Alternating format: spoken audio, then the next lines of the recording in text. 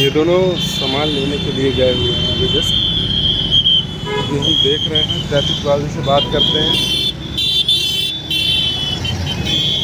क्यों सर ये यहाँ पे कार खड़ी हुई है इस पे दो बच्चे बैठे हुए हैं और इनके माता पिता दोनों दुकान के अंदर हैं। दुकान के अंदर? जी हाँ तो थोड़ा कुछ इस पे कुछ तो रूल होना चाहिए कि बच्चों को खाली ना छोड़ें गाड़ी के अंदर। हेलो बच्चों। कहाँ पेरेंट्स आपके? अंदर है। दुकान पे? ये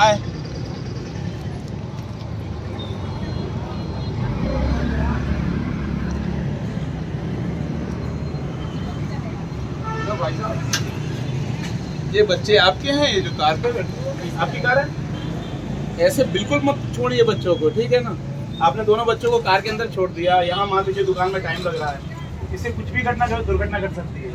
और आप लोग भी सुने होंगे कि पूरे देश में, कहें पूरे विश्व में इस तरीके की बहुत घटनाएँ घट सकी, घट चुकी हैं अभी तक। और सबसे बड़ी दुखद खबर तो तब आती है जब बच्चे जो है तो अपनी जान गंवा देते हैं ऐसे। तो प्लीज़ मैं रिक्वेस्ट करता हूँ आप दोनों से, और ऐसी गलती कभी ना करें। और आप भी आइए आइए। प्लीज़ जो है, ये गलती देखिए क्या होता है। अक्सर अपन ये क्या है ग्लास बंद कर लेते हैं बच्चे। धोखे से कभी कभी लॉक हो जाता है। और लॉक होने की स्थिति में बहुत बड़ी घटना घट सकती है, जिसका आपने बिल्कुल भी अंदेशा नहीं ये मासूम बच्चे हैं। अगर आप मार्केट जाते हैं तो हमेशा मार्केट अगर जा रहे हैं तो इस बात का ध्यान दीजिए कि जिस जिस दुकान में आप जा रहे हैं तो बिल्कुल आप कार से इनको प्यार से ले जाइए गोद में उठा के। है कि नहीं? जाना चाहिए कि नहीं? आप भी जाना चाहते दुकान? ठीक है ना?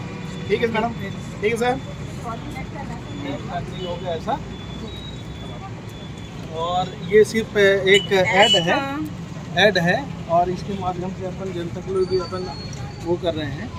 कि कोई भी अपने बच्चों को गाड़ी से न छोड़े और मतलब सारी सावधानियाँ मतलब रखें। बच्चों को अकेला नहीं छोड़े कार में नहीं छोड़े जिससे बच्चों को कुछ thank you so much sir thank you so much पर मैं सभी से गुजारिश करता हूँ कि ये वीडियो ज़्यादा से ज़्यादा लोगों के तक पहुँचाएँ क्योंकि ऐसी गलतियाँ लोग करते हैं अपने शहडोल में हम शहडोल मतलब शहडोल से बोल रहे हैं हमारे शहडोल में पिछले साल एक घटना घटी थी सभी को पता है उसमें बच्चे की जान तक चली गई थी। तो प्लीज़ ऐसा बिल्कुल ना करें।